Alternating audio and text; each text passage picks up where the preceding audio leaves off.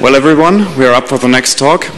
And after having a quite virtualized morning today, we continue with uh, virtualization procedures in general. Today with us is Michael Steil. He's the founder of the Linux Xbox project, and he's already spoken at some previous congresses, so you might know him.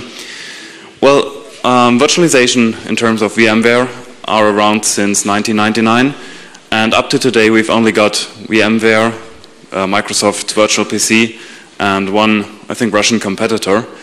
Now, the question is why seven years of development only produced three uh, software products? That has to do with some severe problems you've got to do when you, do, when you virtualize computers. And Michael is going to give us some introduction about these problems and how to possibly solve them. Enjoy. Oh, um, and one thing, we're already a little, uh, a little bit behind of time, so please keep your questions for the end, so not to disturb the uh, speech too much. Thanks.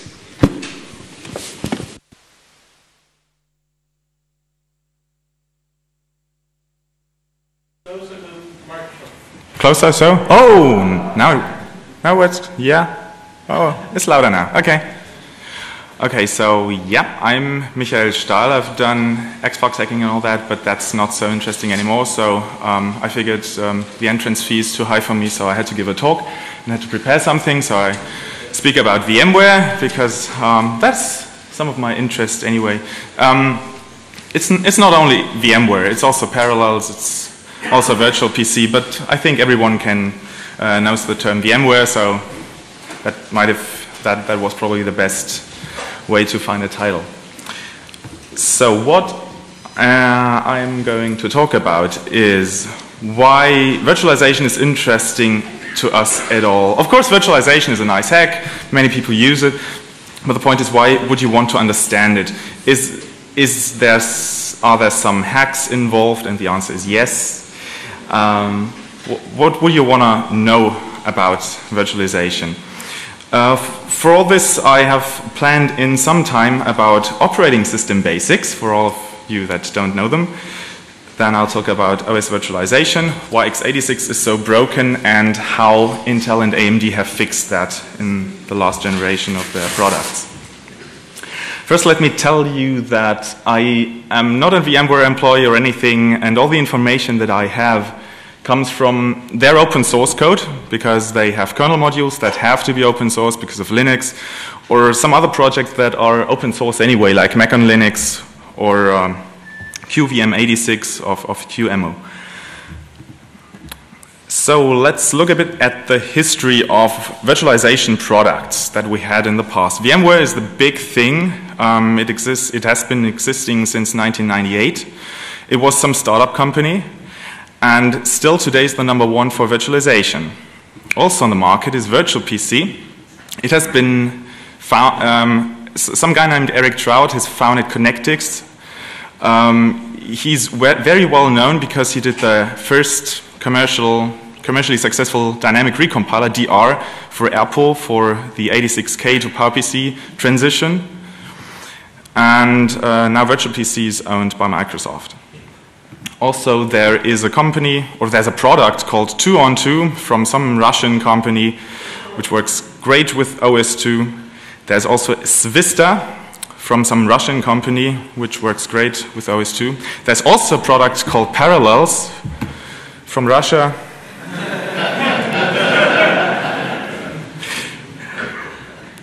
Funny things go on there. There's Plex 86. Um, you might know the Bochs project by Kevin Lawton, who, who did this single handedly himself. But the Plex 86 system, well, it, it failed. It never could run anything. But there's QEMU by another genius, Fabrice Bellard, who you might know of products like LZEXE from the 80s, or he also held the record of calculating pi to I don't know how many digits some years ago. And he also did QEMU. So virtualization seems to be some magic thing by some unknown startup companies, by some geniuses bought by Microsoft or some weird Russian companies. Those can do it tend to write the same application three times, yeah.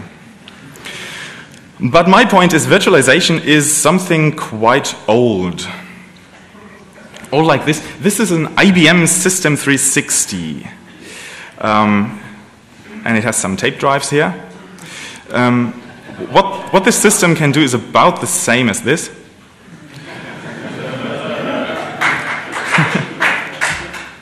yeah, there's, I, I, had to find an excuse to put a C64 in my slides. I have to do that all the time now. These systems could do virtualization, maybe not virtualization as you know it, but the problem was, maybe you already know where this is going, that if a CPU is executing some code and it has to read from tape, it cannot execute any more code while it's waiting for a tape. So it has to execute, wait, execute. So in order to speed all this up or to make better use of the very expensive 1.33 megahertz CPU, you could do this. You could attach a second tape drive, and while uh, the CPU was waiting, or one process was waiting for the tape drive, another process could just continue executing. And when it was waiting for the tape drive, the other one could execute again. So the more tape drives you added uh, with this system, the better the CPU usage would get. Oh, and this is called multitasking. Maybe you know about it. Uh, maybe you use it. But, but this is virtualization because you virtualize your system.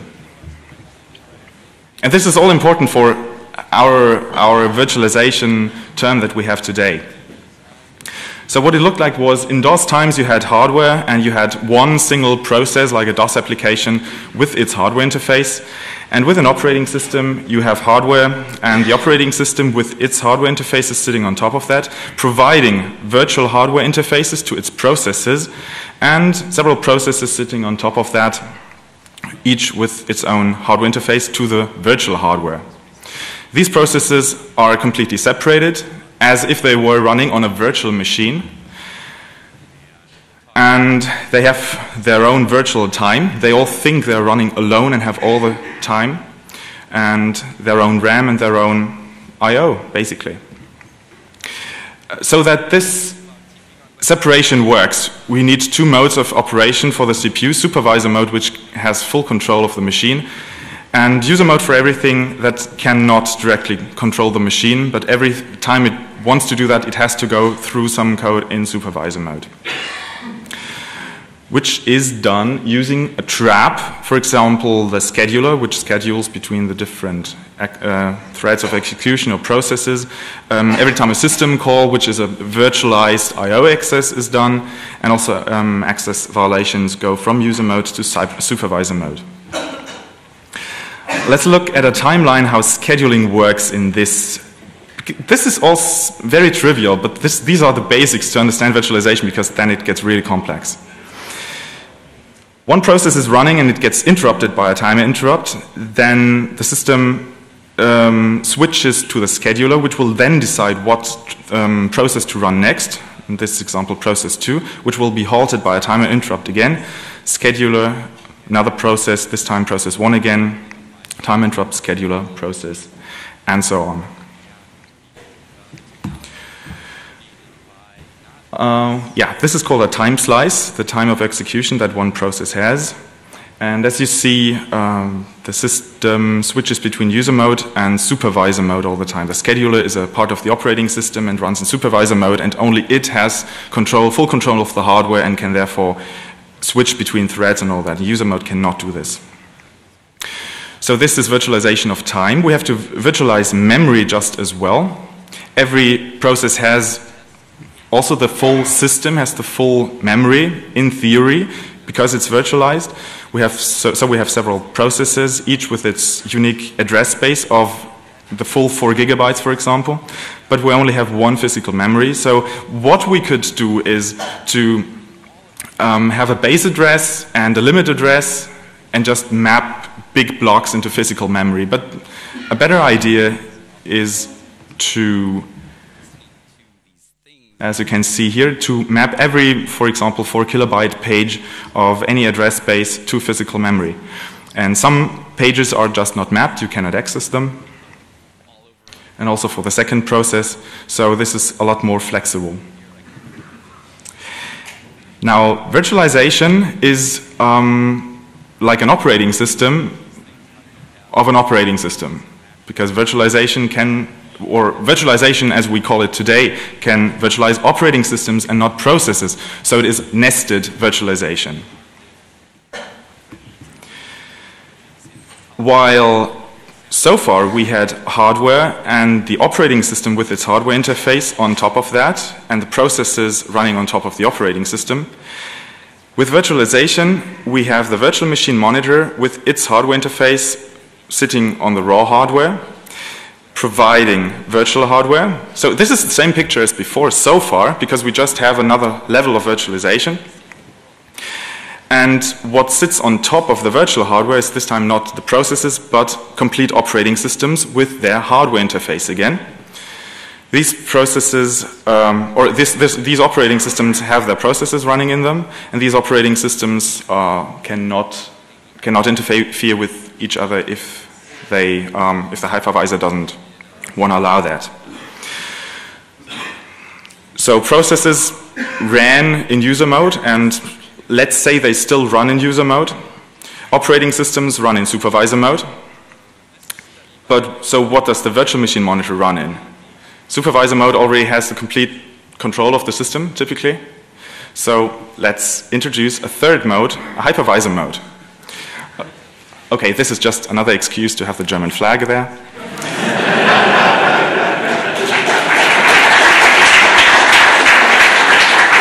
I admit it. But with three modes, there's no way that supervisor mode can have full control of the hardware. Of course, only one system can have full control of the hardware. Only this can make it secure. So hypervisor mode is privileged mode, and the others are not privileged. So if something in user mode does something that user mode shouldn't do, it will trap. For example, the scheduler, if the time slice has come to an end, if a syscall is made to kernel mode, page faults and access violation will trap from user mode into supervisor mode. And also supervisor mode will trap for most, mostly the same events into hypervisor mode for scheduling between the operating systems and not the processes anymore, the operating system. Um, also page tables, I.O. accesses, or if the whole operating system crashes, then hypervisor mode will just deallocate the operating system but not crash the whole machine.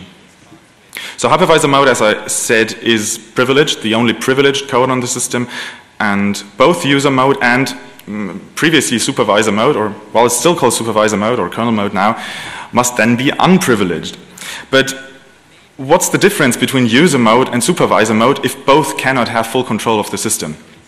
Therefore, we could simplify the whole system and just call all this user mode, or just run all this in user mode and run all this in supervisor mode. So virtualization doesn't need three three different modes of execution on a CPU. Two modes are always enough, but three modes can be an optimization. Now let's have a look at how the different parts of the system interact here. If we only have two, um, two modes of execution. With three modes of execution, the last slide um, told you that user mode will talk to kernel mode and kernel mode can talk to supervisor mode. But if we only have two modes of execution, it gets a bit more complicated. So in supervisor mode, um, there runs the virtual machine monitor with its hardware interface to the real hardware. And in user mode, we have the OS, which should normally run in kernel mode, but we now run it in user mode. The user mode has its hardware interface, which connects to the virtual hardware of the virtual machine monitor. And every, all the communication between the operating system and the hypervisor is done as on a three-layer system. Any scheduler, page table, I.O., accesses, or crashes will be just communicated to the virtual hardware interface of the VMM. But what about all these? Um, oh, that slide is on the wrong page. Anyway, what this slide is going to, to say, yeah, um, this slide is going, is, is supposed to be telling you how these traps work. For example, this is a real world example of instructions that will trap that just can not run in kernel mode on a hypervisor environment. For example, these instructions here taken out of, I think, Mac OS 10, um, load some privileged registers of the system on a real system, this in kernel mode, this can of course happen, but not if you run all this in user mode or if the, you run this as unprivileged code. So what happens is with this LGDT, you get a trap. So the system get, goes into kernel mode, and the hypervisor can then emulate it with, with some, some pseudo C code here. The same is true with the next instruction. The third instruction is actually one that doesn't need any privileged accesses. That's just some calculation. It can be it can just be executed. The next few um, also trap again. Yeah, so this is the, the interface between the operating system now in user mode and the hypervisor in kernel mode. But what about our processes? These processes think that they are in user mode, and they are, and they think the operating system is in kernel mode, but it isn't. So if a process with its kernel interface wants to connect to the kernel interface of the operating system, it doesn't work directly because it wants to talk to kernel mode, but the operating system is running in user mode. So what is done here is a trampoline approach so that every call gets intercepted. Well, anything that user mode wants to do with kernel mode will not go into the operating system, but will always automatically go to the virtual machine monitor, which will then detect what the operating system, what, what the process had in mind, and can dispatch this call to the kernel interface of the virtualized operating system. Whoa, this isn't supposed to be there. So how does, how, what, what are the components, for example, of, of a VMware system? It's you have two components. One is running in user mode, which is the VMware executable, for example. And in kernel mode, you have another support kernel module, which is needed. The VMware main executable does all of the main logic. It well does all the high-level emulation, like device emulation and boot up and, and, and, and BIOS devices, all these things. And in, you need kernel mode for all the mode switches. Kernel mode, user mode, mode switches, all that. You'll see that on the next slide. And also to intercept all the interrupts. All these things that just cannot be done in user mode must be done by a kernel module. Because if you have a virtualization system that runs on Linux, you have to put the kernel module under the GPL. Therefore, VMware and all the others try to put as much code as possible into the main logic in user mode, which they don't have to open source. So you cannot see all the interesting parts in that kernel module. So it only does what is really, really necessary. So let's have a look at scheduling again. We have these two parts, the VMware executable and the kernel module. Let's start with a big view of the complete system. The, the VMware binary gets a time slice time interrupts occurs, scheduler, another process gets run, the operating system scheduler, well, this is the, the, scheduler of the base operating system or the hypervisor. In this case, what I'm telling here is that you run VMware on, for example, Linux and not the VMware server thing, which has its own operating system. So this base operating system on which VMware would run um, has two processes here, VMware and a process 2, and schedules between these two. So each of them gets about 50% of the CPU. Now let's zoom in. What, uh, what exactly happens if you run this, VM, th this VMware inside this VMware time slice? First, the VMware user mode binary will be run. It then switches into into the guest code. So it donates the, it's complete, it's almost the complete time slice for the guest code.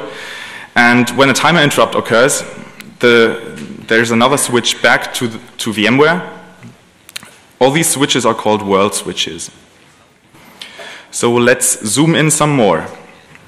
At the, time, uh, at the start of a time slice, the user mode binary, VMware gets run in user mode, in user mode, you cannot do a world switch because a world switch would mean you, you change all the registers, you change all the memory layout, you change, you, you uh, replace your scheduler, all that.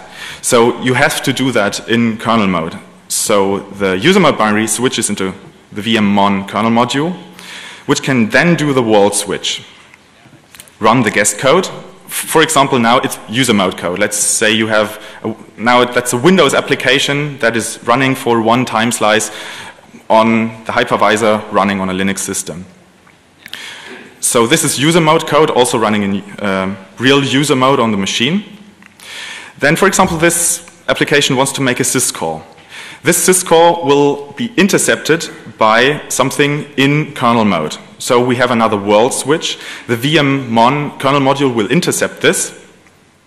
We'll switch up to user mode into the big VMware binary, which has all the logic, and will decide what this was. Was it a syscall? Was it an interrupt? It will then decide and do what it thinks is right and switch back into vmmon in this case, because we have to switch into virtualized kernel mode for the syscall.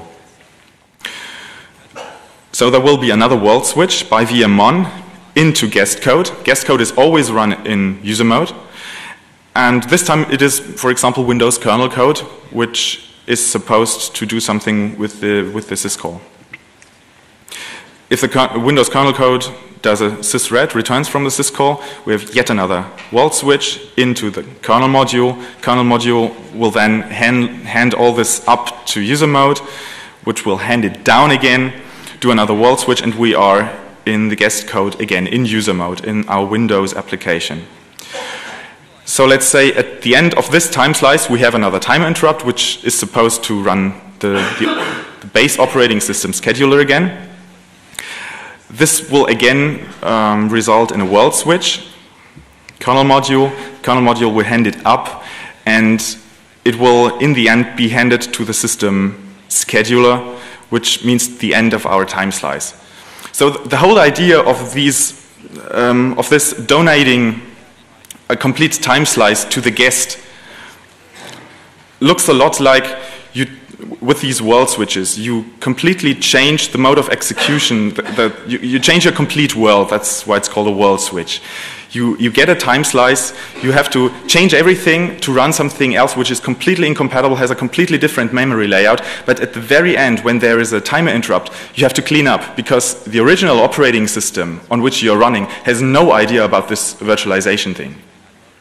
So this is like when your parents are gone and you have you want to have a party just when when the bell rings you have to, to clean up. So, so you have to intercept the bell, and you make, must make sure that your little brother doesn't intercept the bell and have them come in. So that is why we intercept the timer interrupt, or VMware does, with its kernel module. Let's zoom in some more. So what does a world switch look like? The world switch has to change really everything of the CPU. The register set, of course, because, well, that's mostly how it works with threads and processes on any operating system.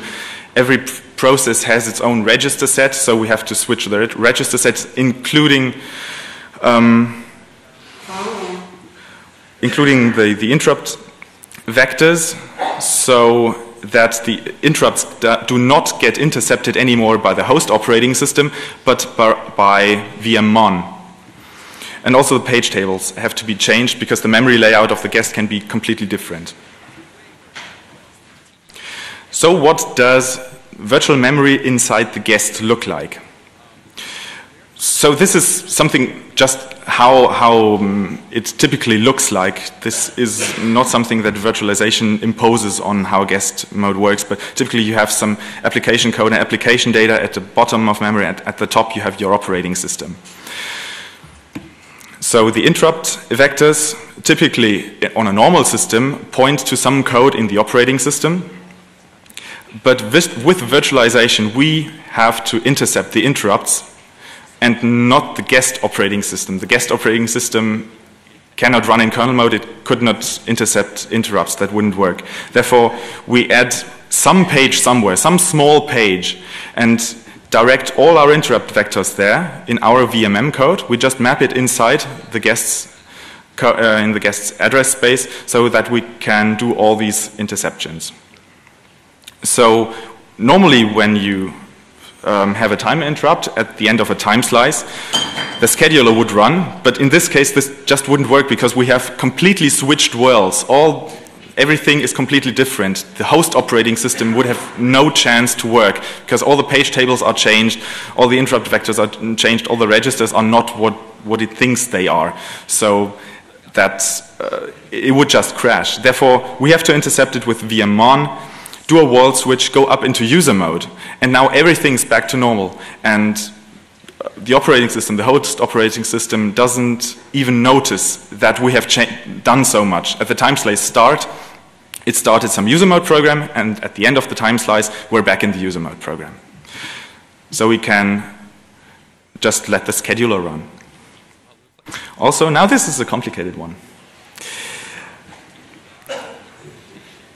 You see, if you have, in, in this example, we have two operating systems with two applications each. If you only look at the left side of the slide, you have two address spaces, two processes on one operating system with their mappings. The second operating system also has mappings of memory into what it thinks is physical memory. So the operating system doesn't know about virtualization. It maps its guests' pages into what it thinks is physical memory. But of course, there, there's not there's just one physical memory and the operating system would all use the same pages. So we have so we need another mapping between pages.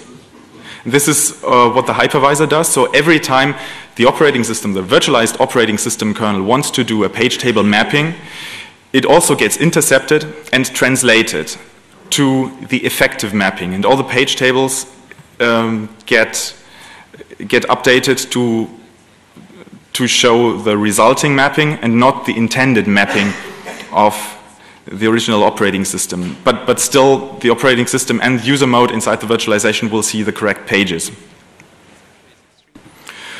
So what about I.O. accesses? This slide is supposed to build. It doesn't. Too bad. But I think you get the point here that if guest mode wants to do an I.O. read, it also gets intercepted because th this is obviously kernel mode because, well, on most systems only kernel mode can do I.O. accesses. So this I.O. access will also trap into the, into the hypervisor. So a world switch will be done into vmmon, which will hand all this up into user mode again, which will then decide what is going to happen and provide some fake result. For example, if this I.O. read was the PS2 mouse device, and what, is, what about the mouse? Is there any change about the mouse? So it does an I.O. read, and then VMware can fake this input. It can ask the host operating system, has the mouse really ch changed, has it moved? Put all this together in a PS2 protocol and hand this packet down into VMMon, and VMMon will then hand it into the uh, guest mode code into the kernel of the virtualized operating system.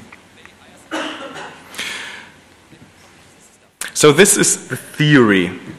Now, how does it work on x86 on practice? Does, it all work this way? So I, have shown you two different approaches. One is with three different layers. For example, the G5 does it like that, or two different layers. Most other systems do it like that. So how does x86 do it? Do we have three layers or do we have two layers? And the answer is no.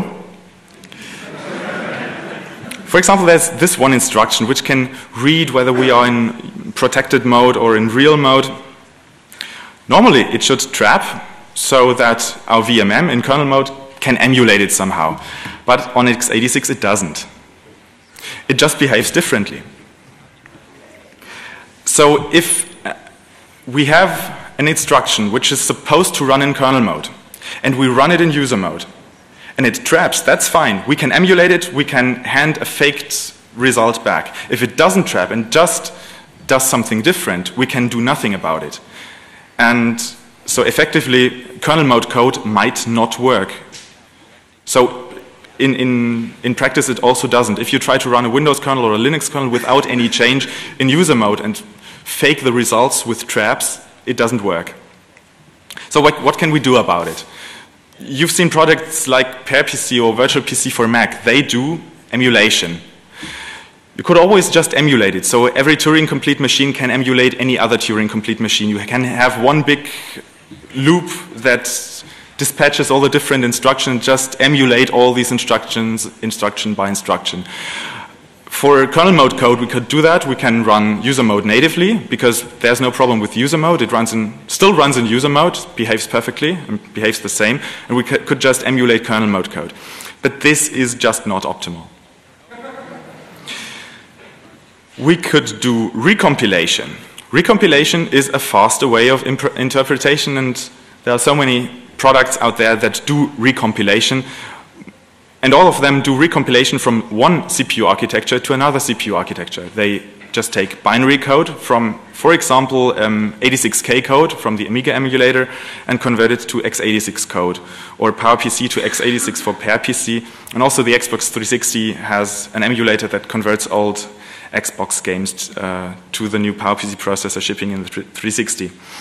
So what VMware does is exactly the same approach, but it changes x86 code to safe x86 code. So it takes x86 kernel mode code and replaces, well, it can take most instructions verbatim. It doesn't have to do big translation of register sets and all that.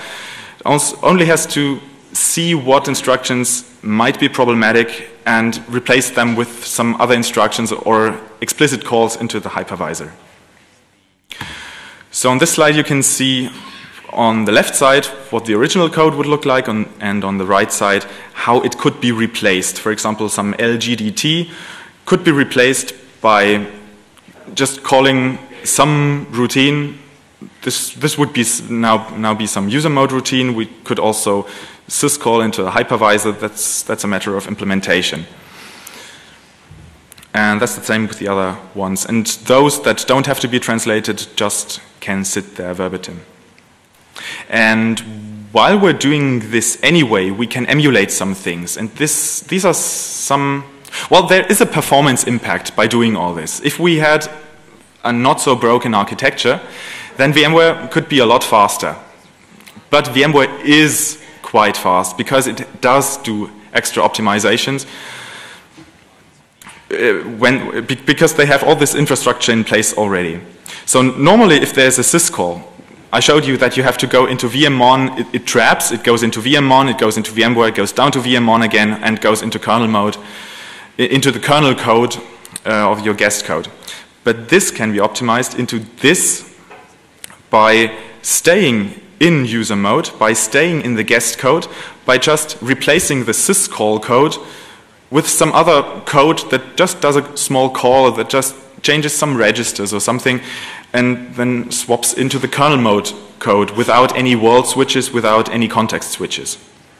If you think this is not safe because it changes the state of the emulated CPU or something, then keep in mind that all this changed code there is code that gets written by VMware. And user mode code or kernel mode code has no way to read this changed code back in uh, and, and do any funny things with it. So there's some extra protection in place so that there's no way for user mode or kernel mode code inside the virtualization to find out that, that the code has actually been rewritten. Yeah, but the problem is this is quite complex. So VMware can do it, Parallels can do it, Virtual PC can do it, QEMU can do it to some extent, not so fast. But if you just want to have some small virtualization, for example, for PowerPC, there's the great Mac on Linux project, or also the Mac on Mac port, which isn't so complex, which is a product which has been existing for quite some time, and it works, and there's, well, except for QEMU, which is quite good now, there hasn't been an alternative for x86, because x86 was just too complex for all this. You cannot have lightweight VMMs for, there, there are many good ideas why you would want to have some VMM in some application. That is why both Intel and AMD introduced extra technologies with their newer CPU generations. I think most CPUs sold since this year include uh, either VT or SVM technology. Well, it would be nice if there was just one technology, and it would be nice if it only had one name, but VT was called Vanderpool and is now called VT. SVM was called Pacifica and is now called SVM. So whenever you hear any of these, it's basically the same technology, but it is totally incompatible, of course. VMware, for example, uh, can do both, and the, uh, they have a very thin layer of abstraction between the two. It's just different opcodes. It's, it's a bit different, but the system is the same. And the system, how it works, look like, looks like this. It is a three, three modes approach. You have a user, uh, user mode, a, a supervisor mode, and a hypervisor mode. So you don't have to fake anything. They, they could have, they could have ch changed or they could have fixed the broken architecture just by making some instructions trap, which didn't trap in the first place. But this way, the hypervisor can still get a little easier. You can still, you can have some performance or um, some simplifications in, in your software with, with having that third mode. They, they call the hypervisor mode root mode, so the CPU will typically, if you boot up a system, the CPU will run in root mode, and if you don't uh, use virtualization on, for example, the new core CPUs, um, you'll run in root mode, and if you turn it on, the virtual machine will always run in non-root mode. And non-root mode will then have a supervisor mode and a user mode. So let's look at how VT, or also SVM, I'll uh, stick with the example of VT, how it works in practice. Before VT, for example, world switches, well, the main point is that you can just very easily do world switches, either automatically or if you want to have an explicit world switch. Before we had VT, we had to use some code like this. We had to save all the registers, even the special registers, and we had to load a new register set from RAM, everything manually. Switching back, no, first this. Now, now VT only has one instruction for this. If you do VM enter, you have one pointer that is already set up in a new special register. You do VM enter, and on this pointer you have your complete register set, all the internal state. You don't have to care about the internal state, it's all managed by the CPU. You do a VM enter, and it replaces it saves your state and loads the new state. And it's then in guest mode. Runs the guest kernel until some interrupt or something occurs. Before VT, switching back to the host would mean you had to redirect all your interrupt vectors and have some small code mapped into the guest that could intercept all the interrupts and do the world switch back. And have some code like this again, saving all the registers and loading the old register set. With VT, everything have to, has, uh, you have to do is subscribe to interrupts. You have to tell VT what interrupts and what exceptions you want to have. Typically, you want to have just all of them that you can do good virtualization, or if you want to do very lightweight weight virtualization, like Blue Pill or rootkits or these things, you don't want to have any interrupts. You let the system do everything, then it cannot be measured that you're running at all. Well, for most of, for most of the time, that is you can just run the whole thing and only if there is, is, something special going on, like a keyboard interrupt or something, you can only intercept that single interrupt. So it gets a lot easier. Now what about speed? Is, does VT or SVM, does it really make everything faster? The point is that VT and SVM make development easier. For example, now we have Zen. Xen already supports both these technologies. Without VT or SVM, it, it cannot do it. There's so much extra complexity that would have coded into Xen and nobody had done that. But it's not necessarily slower. It's not necessarily faster. That's the point. VT is not necessarily faster, and in sometimes it is slower for example, VMware claims that their solution is faster than if they were using VT. For example, if you have the current version of VMware, any version of VMware, even on a VT capable CPU, it will not use VT unless it really has to. For example, in 64-bit, there's some bug in AMD CPUs and also Intel. Well, AMD has fixed this bug, but Intel has not. So VMware has to use VT to, to, to, to, to work around this bug. So they use VT, but otherwise they don't because they say without VT it's faster.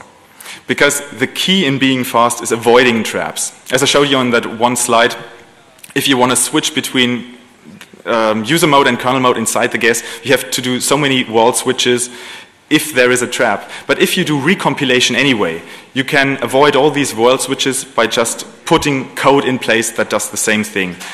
And all the solutions out there do this already, VMware just like Parallels and all that. So VT isn't such a big deal. If you want to have fast virtualization on your system, you shouldn't really care about VT. If you want to if you want to code yourself some things that deal with virtualization, then VT is a great thing. Okay, that was my conclusion about VT and SVM and about virtualization in general. So if there are any more questions, I'm open for them now.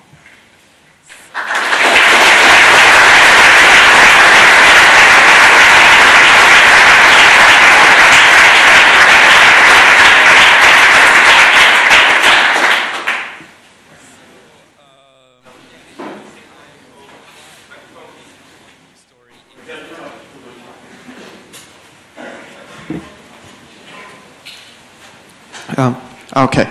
Uh, if uh, VMware uses all this recompilation, uh, recompilation stuff, uh, why does it still need a kernel module? The kernel module is always needed to do world switches. For example, you want to change the memory layout. For example, if you're, you're in the state that the VMware user mode application is running. Then it has its specific memory layout. Then you want to switch into some Windows application, and this Windows application needs its specific memory layout. In a user mode application, you cannot shuffle the pages around as you want. You basically have to do a CR3 switch on Intel. You want to reload your page table. You want to completely change your memory layout. For this, you need kernel mode code. You cannot do this in user mode. Uh, so, um, what you're saying is that QEMU, uh, works because it does more uh, recompilation stuff, or what? Uh, because QEMU doesn't need a kernel module. That depends. I'm not so familiar with QEMU, but I think it can. It has two different modes of emulation. If you don't have a kernel module, then it cannot shuffle around the address space totally, so it has to emulate this and is therefore slower. But QEMU has a mode with the QEMU uh, kernel module, which can speed all this up. Okay, so it's uh, just more recompilation and stuff. If you don't have a kernel module, the recompiler will just do more and be okay. slower. Um.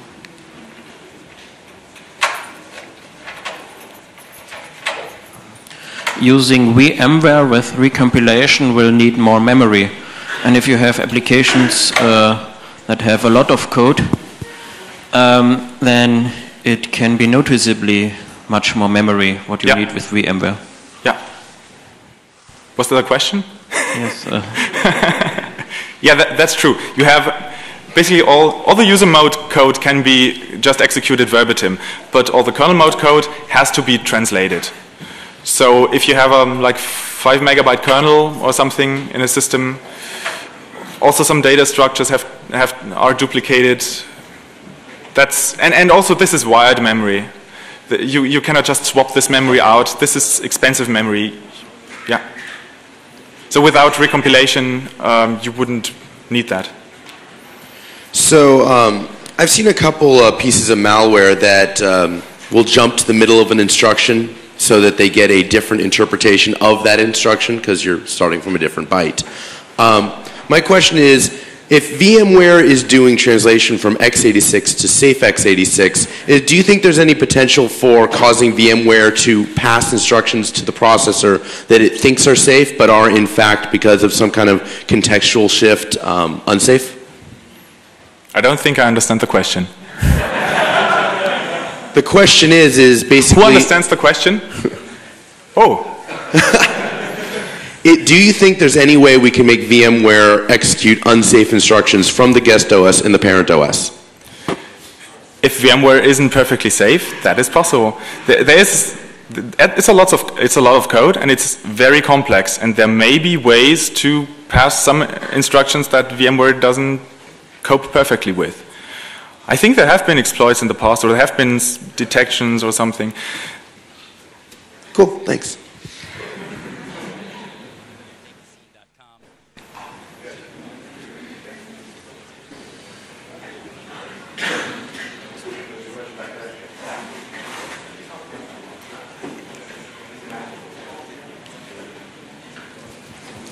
Hello? Yeah.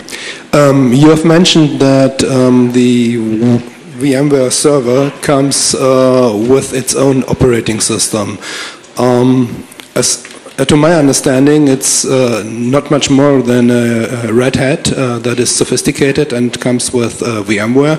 Or um, is there anything more regarding the layers of the system, hypervisor, uh, supervisor, or whatever? Is uh, the ESX server much different, or isn't it? This is a very good question. I don't really know the answer. I know some of the answer. The ESX server, it uses a modified Red Hat to boot up, but then it switches to a completely different uh, root mode kernel. So it looks like Red Hat, but... It switches to what? The, the door is open. Oh, yes. Yeah. Uh, the ESX server, it starts up with a modified Red Hat, but then it just loads the ESX kernel, which is completely different. It's not Linux based. Yeah. Yeah, and this makes perfectly sense because it's a, a, speed optimization as well. If you don't have to undo everything you do just to fake that, that, that, nothing has happened for the operating system. If the host operating system, operating system is aware of virtualization, you can save a lot of cycles there. And maybe even complete mode switches.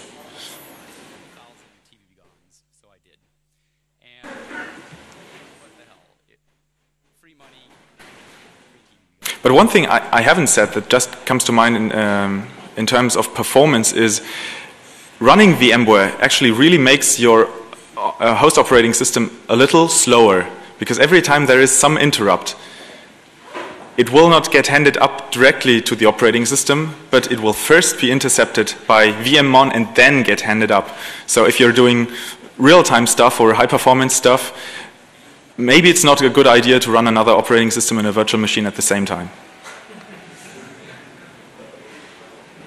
Hello? Um, have you looked into um, the traps that VMware has for uh, like communicating with the actual VMware software from within, like the guest operating system? Like there's a couple of special instructions for detecting whether you're running within VMware, but there's also stuff like um, give me the physical resolution or change the physical resolution that the um, tools use. And apparently, um, I was just told that you can disable that, but it doesn't really work in all cases. Have you looked at that, in, into that at all? No. No, okay. Is there a time impact or a slowdown in having VMware just installed and its daemons running without a guest operating system running, or is it? No. No. As long as you're not running running virtual machines, VMMon will never be called. So VMMon is only called by the VMware executable and will, it will then direct everything to itself. But as long as you don't run the user mode component, there's no sense in intercepting anything, no. Thank you. So uh, for the various hardware devices that um, exist that you access from within a VM, like a video, sound, USB, um, how many of them are full-on emulated devices that you speak to and then it speaks to the hardware versus how many of them are actually doing direct pass-through of instructions from the guest OS to the parent hardware? Do you know? Do, uh, I think that uh, that depends on, on one, what uh, actual implementations and, and what versions of the virtualization solutions you're talking about. So the desktop operating system of VMware don't support at all um, any pass-through to the host host devices. I think the server versions do in part, for example, to have direct access to network cards. But this, all this is a security problem. For example, um, if, if, if you want to access a network card, the network card might be able to do DMA. And DMA is not done through, th uh, through virtual memory, but can talk to to memory directly, to physical memory directly. And if you allow some virtual machine to do that, it could override anything in any other virtual machine because it just doesn't know about that. So you would need uh, either hardware that is aware of virtualization. For example, the vPro platform of Intel has a network card that is aware of that, and all the DMA accesses go through the MMU as well. Um, or you have to have some small layer in between. So, would you agree that you should not be using VMware as a security solution? Because a lot of people really want to.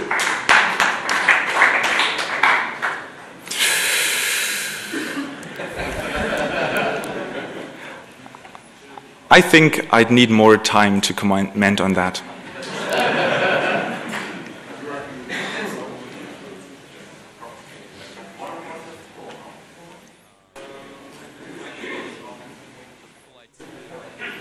Of course, it's, it's, it's, always possible to, to exploit even complex software, and it surely should be possible to exploit a solution like VMware in some way. But the whole system, well, they, they had security in mind. They don't just, they cannot pass through things for a security purpose. For example, I know one thing about VMware where, they, where there was a possible trade-off between security and performance or security and not working at all. For example, the first AMD CPUs, the first AMD 64 CPUs, they, uh, with their 64-bit uh, mode, VMware and Parallels and I don't know, not Parallels, just VMware, they implemented having 64-bit guests as well. But as you might know, the first AMD 64 CPUs did not support that new version of VMware. They could do 32-bit virtualization, but if you had one of these steppings of the first AMD 64 CPUs, you could not do 64-bit virtualization.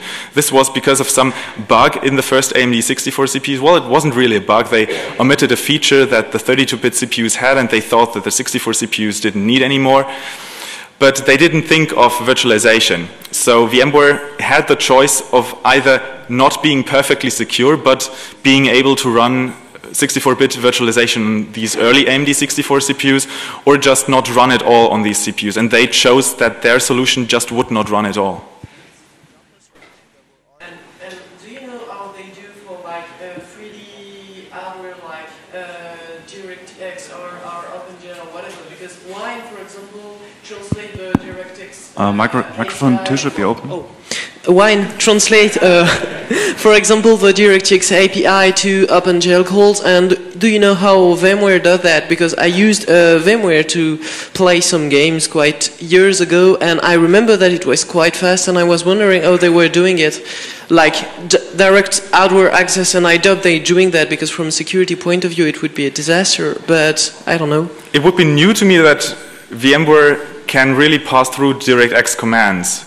I know that it can emulate some CPU and maybe the drivers can do some basic 2D stuff and Windows can then emulate all that and maybe the machine was quite fast so that it was enough to do uh, um, emulation of 3D. But passing DirectX through an interface, that's a really, really complex thing. And also for security, that's a problem. Thanks. Hello. Um, I've actually been watching you on the TV in the speaker room, and I ran all the way over here after I saw that the questions don't end because, well, um, well, I was about to ask a question, and then Danny here told me that everybody already knows about it. So, yeah, I wanted to ask your opinion about, for obvious reasons, to use VMM for ICE. Huh? Dan will help me out because he already said, yeah, everybody knows about it. So you can't do debugging as easily anymore because the you know the code has all this anti-debugging stuff. So what have you seen with regards to using VMMs for debugging, like uh, a, a GDB that lives outside of the host operating system? I know that QEMU is a great, great debugging tool for operating systems because it is open source and all kinds of people have installed various hooks in there. And I, I, know several projects that use QEMU for that. But I don't think that VMware has any hooks in there. So that, that, that's one thing that I've looked into myself. They, they want to do desktop virtualization, they want to do compatibility solutions, isolation solutions, server solutions, but I, de development for user mode applications, but I haven't seen really seen VMware being used for kernel, kernel debugging or anything. Um, not tr- well, maybe Dan is talking about VMware. I'm actually talking something like Joanna Rutkowska rootkit. Hmm? I'm sorry, I didn't understand. Yeah, I'm not sure I want to repeat that. Um, I'm actually talking about something the sort of like running ice from something like Joanna Rutkowska's rootkit. Not really the rootkit, but technology itself. Pretty cool. Think about it. Yeah, everybody laugh now, but wait just a few years.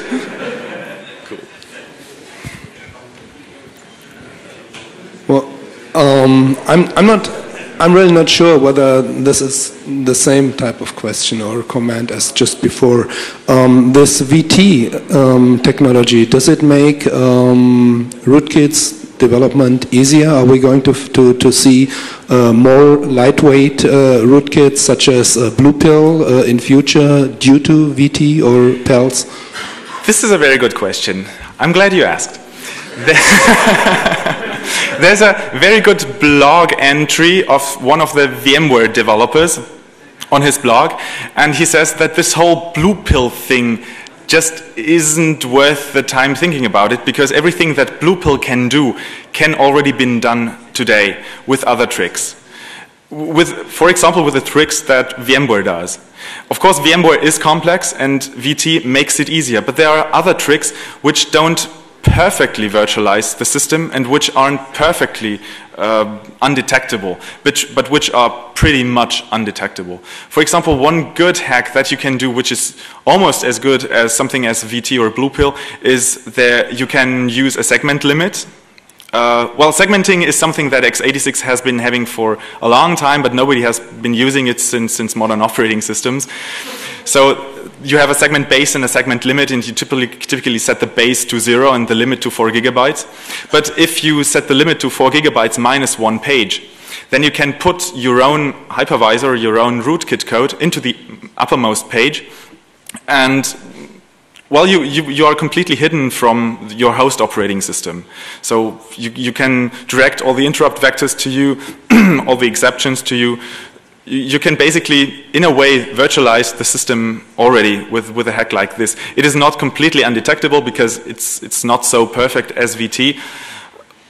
But also VT isn't, is, is very hard. It is very hard to make a solution with VT that is totally undetectable because there is always some performance impact that you can measure. For example, there are, um, if you have a CR3 reload, you can do a CR3, well, it can be cached, but if you load random values into CR3, then there will be a VM exit, there will be world switches, and you can measure these by, by time. Of course, your rootkit could fake your time, but then it gets very, very complex.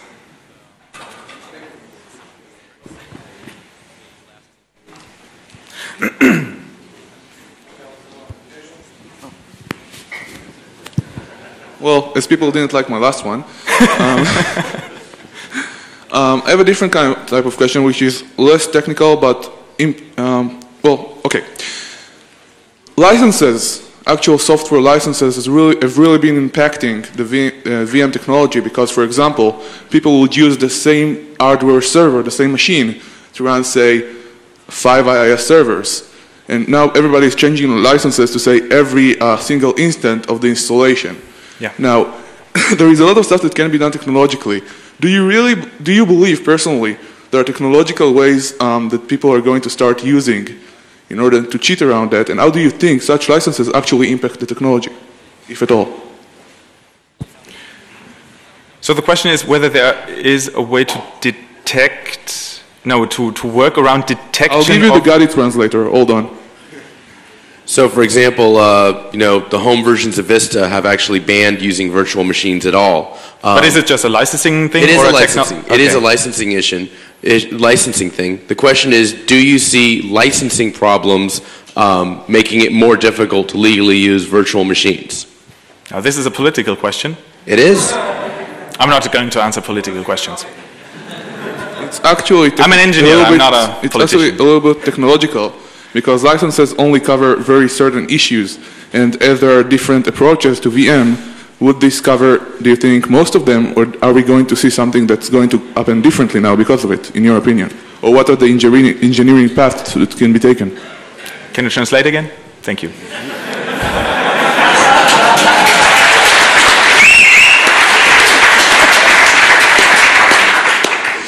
Basically, um, what kind of horrible hacks are we going to have to do to get around the legal barriers to virtualization?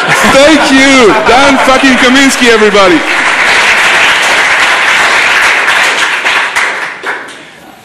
I just translate it.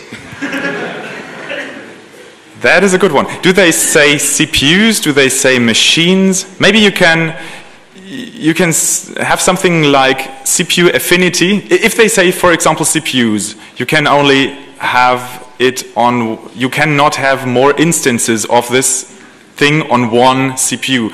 than if you have a multi-CPU thing, you could bind one virtual machine to every CPU. Okay, that's awesome.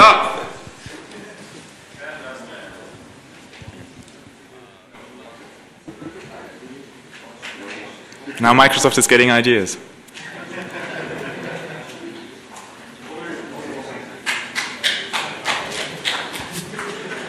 Can you uh, detail how Xen compares to VMware? Of what? How Xen compares to VMware?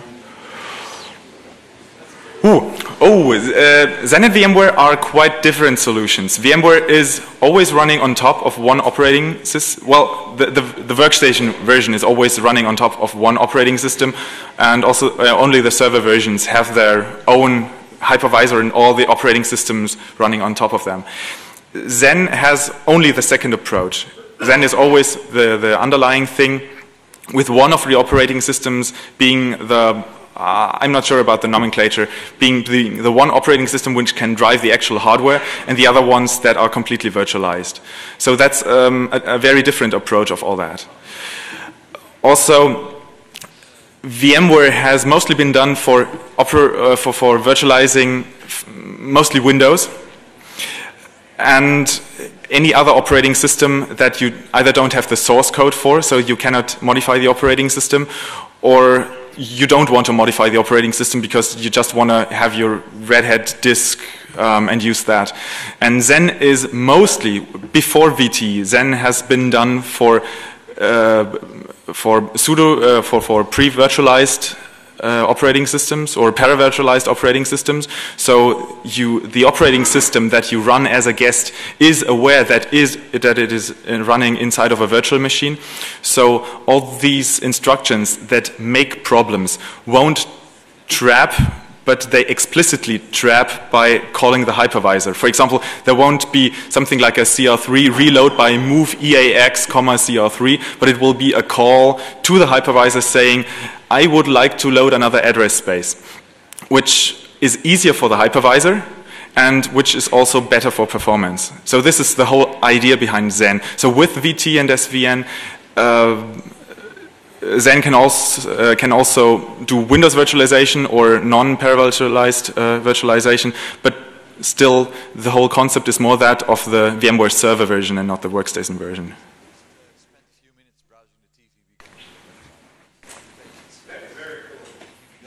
Yeah, Xen is cool, I agree.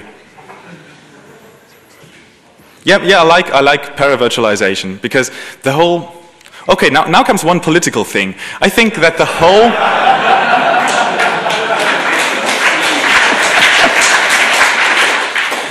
this, this whole VT and SVM thing is just one big hack around the fact that Windows is closed source.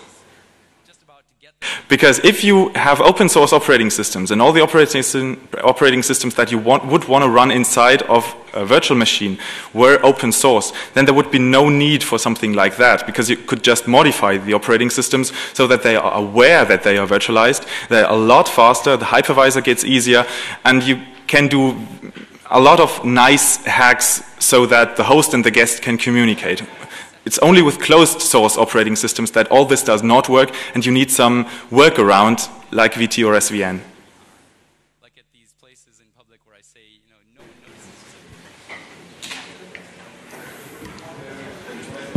Just, just one quick comment.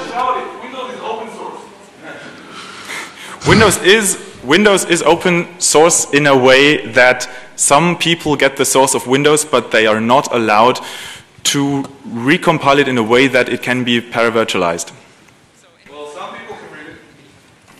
They can read it, but they are not allowed to change it. I think there was there was a paravirtualized woo. There was a paravirtualized Windows someplace, but yeah. Just So one i- comment Is this the sign that I should shut up? No. I think Just one comment on Xen and SVM versus VT. I spoke a lot to a Sun here. Oh. Yeah. Sorry. I spoke a lot to a Sun kernel engineer who works on virtualization, and what he claimed was that uh, as, well, Pacifica helps them a lot uh, to improve the performance with paravirtualization. So whereas VT is, is for them basically useless, um, running Solaris on Xen with a slightly modified Xen that makes use of all of the, the Pacifica functionality gives them a lot of performance advantage. Yep. So it doesn't really help in the, in the virtual machine monitor case, but in the hypervisor case, uh, Pacifica helps a lot. Yeah, there's there's one thing. Well, VT doesn't really help. VT is really that that workaround again uh, around closed source. But SVM has one nice extra feature, and VT will is going to have this feature as well in the future. Um, I think the uh, Intel's roadmap says, which is uh, nested page tables.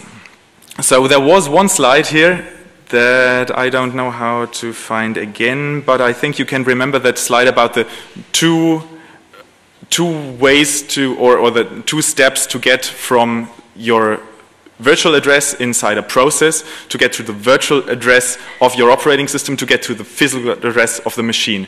This this has to be done manually by the hypervisor every time a page table entry is done. With nested page table, this is a feature that only SVM has so far. You have two complete MMUs, which are an S or which are one behind the other. So you can actually have your real page tables. You don't have to translate them. You don't, ha- uh, you don't get all the nasty TLB miss problems with that. And the, the hardware can actually do the whole thing, which, which will lead to a lot better performance. But VT will eventually have that as well. And this is one thing that not only real virtualization but also parallel uh, paravirtualization can make use of.